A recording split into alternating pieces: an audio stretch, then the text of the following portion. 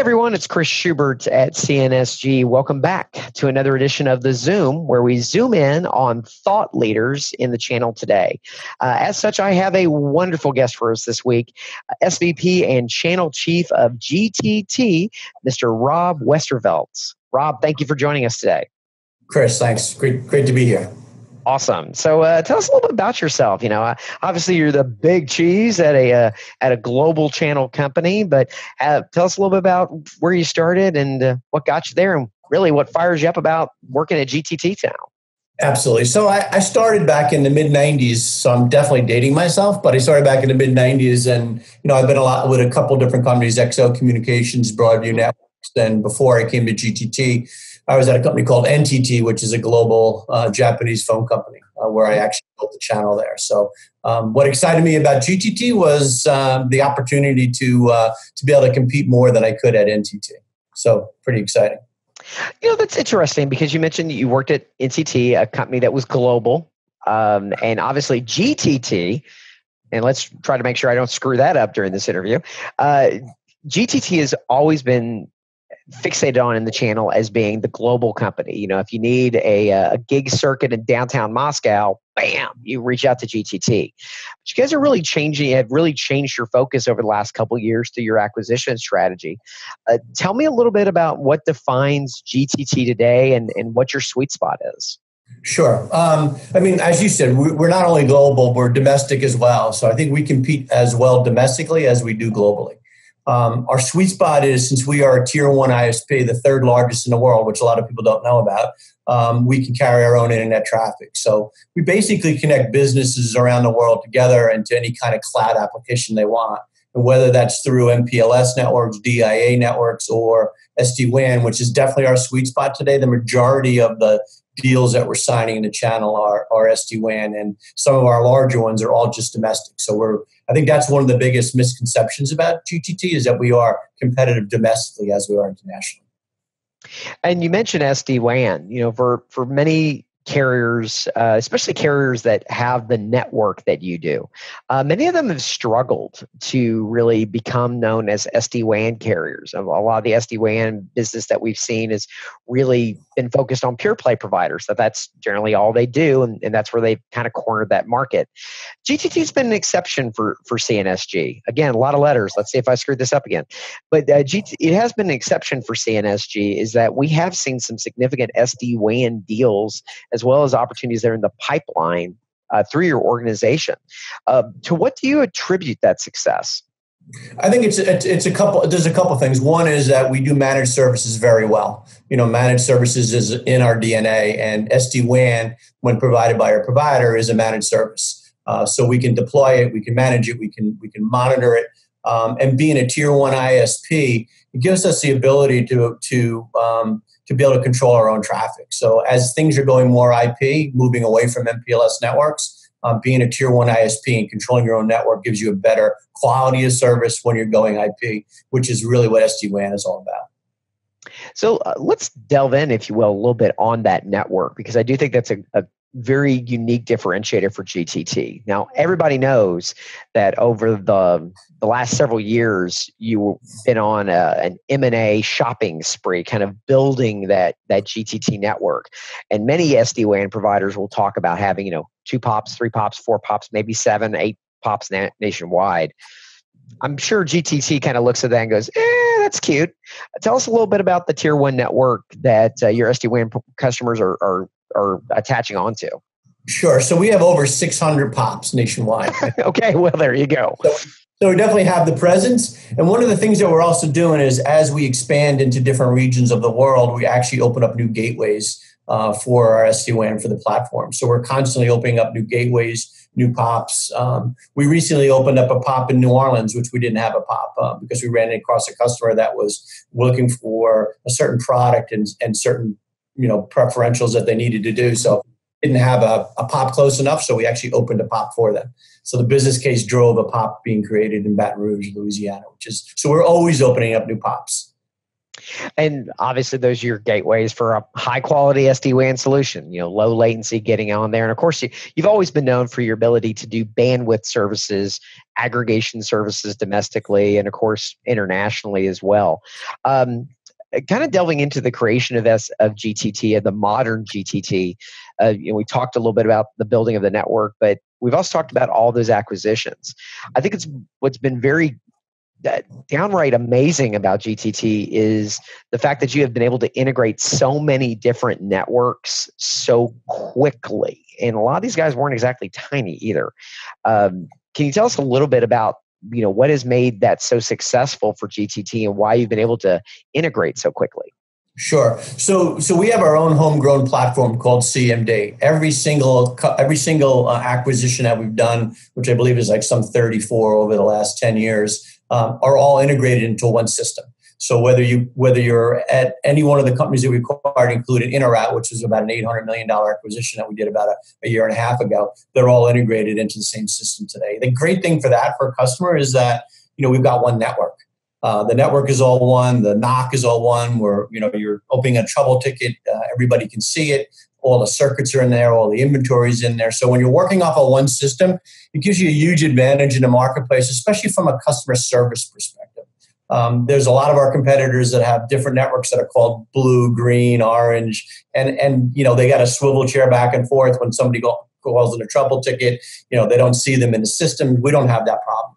Our our claim to fame of M and A activity is having one single system. You know, you mentioned uh, you mentioned a, a, term that terrifies me when I hear it: swivel chair. Yeah, because I've I've dealt with that one. And my other favorite was always legacy, because legacy always they, they okay. So that's the old network, the the network that of legend. I mean, what, what is that? So uh, kudos to you for being able to uh, to to pull that off. Now, let's kind of turn our our our our field to kind of the focus and the relationship that GTT and CNSG have. You know, obviously we have uh, you've got some great executives that we have long-standing relationships with, Michael Goff, Gene Elmore, and and others that have really kind of driven a, a really strong bond with CNSG. But part of that is because those individuals are so focused on the channel. Uh, GTT obviously has a robust um, uh, wholesale business, a robust uh, direct channel. Where does where does the indirect channel fit for GTT, and, and where do you see it growing in the future? Yeah, I mean, so the channel has been been experiencing double digit revenue growth for the last three years, which is remarkable. Um, and most of the larger SD WAN deals are all coming through the channel. So I think the channel really set the pace, even with the direct sales organization, showing that we could win these deals because you know most of the sub agents that we deal with, as well as the masters, the you know there's a there's a relationship there with the sub agent as being the trusted advisor. So we get to cut through a lot of that red tape of trying to get to the decision makers and and win some of these deals. So I think the channel has been on a cutting edge of GTT, and we're about 25% of the America's revenue today, which is substantial for a $2 billion company. Yeah and of course you know all of our channel partners you know like love to hear that. They like to know that the channel is is a big part of that organization and will continue. And I, and with michael Gene and the rest of the crew uh, taking care of us I, I feel confident in that.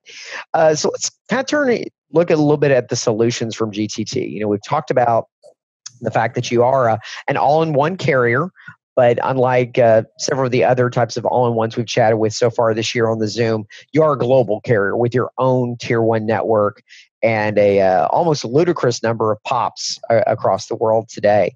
Uh, tell us a story of, of how that's impacted a customer and what you've been able to do in, in our case study section here. Yeah, sure. I mean, so so I think the you know we again we're as competitive domestically as we are international. So if you look at international, manufacturing firms are all looking for, you know, to be able to put whether it's China or Indonesia or India, they're looking to put a presence in those in those countries, and and we obviously with our global presence can do that today. So there's no place we really can't go other than an embargoed embargoed country. You know, we do we do put SD WAN devices and boxes in China, which is difficult to do, but we've got several customers that have that have uh, SD WAN pops or SD WAN locations in China, I should say.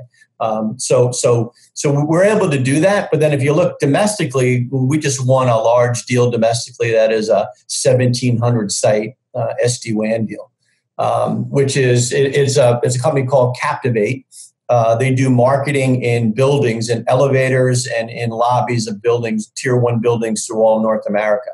Um, and they were looking to how do we make sure that the video that we're showing, because we're, we're paid advertising, has the quality that we need to do. So, you know, we went with a broadband and a wireless application in, in, in one of the Velo boxes for, for SD-WAN and stood that up. So we're in the second phase of installing that right now. But that was a 1,700 site deal that we just did and being installed right now. And in fact, we just did a press release on that about a week ago. I, I mean, for the partners listening home, I hope you catch just how unique and crazy that solution is. So we're talking about delivering video to elevators, and many of us, especially that have been either live in or visited big cities, you see that stuff all the time, but you maybe not stop to think about how that gets delivered and where the application is. And GTT came through with an SD WAN solution, obviously auto failover, making sure that they've got good quality active active connections for something as simple as a video terminal in an elevator. That is a wicked cool scenario. It, uh, it really is, yeah, yeah with it being kind of wicked cool in next gen, I'm going to ask another. This was not on our pre uh, pre game uh, questions that I always uh, prep my guests with, but with with where GTT has come from, you know, over the last ten years, you mentioned the thirty plus acquisitions that you've done. You've obviously evolved and from being just bandwidth to being a, a global SD WAN uh, and some UCaaS in there too, uh, provider uh, to companies all over the world. Where do you go from here? You know, what's what's the next five five ten years look like for GTT? Is it more acquisitions? Is it continue continue to spread globally? What do you think is going to happen? I think we're going to go deeper, wider globally. Um, I, I, we will probably do more acquisitions. I think we're probably not going to do a little acquisitions for a little while now. But um, you probably saw an announcement not not too long ago. It's been and it's been public. We're spinning off some of our infrastructure uh, companies that were that that are no longer part of our core through the acquisition. So you start putting some of those assets together that really are not part of your core business, and we're spinning those off today. So my guess is we will do more acquisitions as we try and fill it in. But right now, you know, being a tier one ISP and having a global network, how do we just start adding more customers on? I think that the next three to five years is still going to be the SD WAN uh, wave. Um, you know, a year and a half ago, people were just kind of talking about SD WAN. They're now signing contracts. We're now implementing. We've got great references, and it's and it's cross. It's retail. It's manufacturing. It's banking. Finance. You know, marketing with Captivate. Um, it's across almost every type of a business unit, and then it's, and it's not just um, it's not just price or cost that's driving it. It's just a better WAN technology with SD-WAN. It gives you active-active instead of active standby. So it's, it's definitely a better mousetrap. And I think that's going to be the next, you know, three to five years, and, and then we'll see what, what comes about that. But I think, you know, you had said before that, you know, what else, you know, what else really drives us is that we grew up as an aggregator. So we have all these aggregator, you know, deals that we have out there. So if a customer comes to us and says, "Hey, I have 1,700 sites that I want to do globally, but I need diversity. I need the main circuit to be on on one network and, and another network," we can do all that. So you can go to one provider that can put all that together, wrap it into an SD WAN deployment, have it as a managed service, and give diversity and give everything that customer needs. So it's pretty it's pretty amazing. It, tr- it truly is. As you look at the different providers that are out there, and everyone has you know their niche and we're in, the, in their sweet spot. But the one thing that I want our CNSG family to realize about GTT in its current state is uh, not only are they a global aggregator, not only do they have access to all those network components, not only do they have 600 POPs plus just domestically, not counting the worldwide uh, worldwide pieces, but I'd like to key in. You know, they mentioned a, an SD WAN win of 1,700 sites. Uh, as you've heard me talk in some of my videos online, as well as uh, in these previous uh, Zooms, it's so critically important when you're selecting that SD WAN provider to find someone that has experience with it. You know, if, if the provider you're choosing has 100 locations installed, which might be great for their size. Uh, that doesn't mean that they've seen all the issues. And I guarantee you, GTT, with thousands upon thousands of installed endpoints, they've seen it all, they've done it all to steal from State Farm.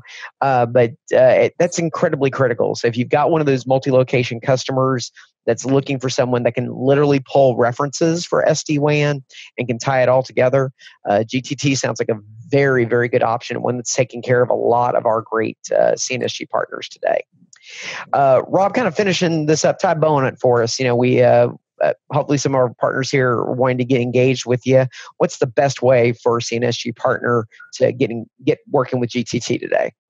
So we have 30 channel managers around the country today. So, you know, we are in all the local markets, whether that's Dallas, Chicago, New York, Boston, California, um, you know, LA, we're, we're all over. Um, so the best way to go is, is probably to, you know, contact CNSG and, and then uh, we can get you to the right channel manager, the right vice president. And, and I think one of our claims to fame is that we win probably 65 to 70% of our deals when we actually can sit at the table with the customer and talk about the network, talk about what you're trying to accomplish because we win a high majority of those deals. And most of our sub agents that we deal with today will actually bring us in and kind of consult with the customer because we're selling a solution. So if you if you if you want somebody that can sit down with you and help you win these deals and bring in all the right resources, you know that's where we fit really well. Fantastic. Well, Rob, thank you so very much for being our guest this week on the Zoom. Uh, to all of us, all of our audience listening at home and watching this on YouTube, uh, we'll be back next time with another thought leader in the channel today on the Zoom.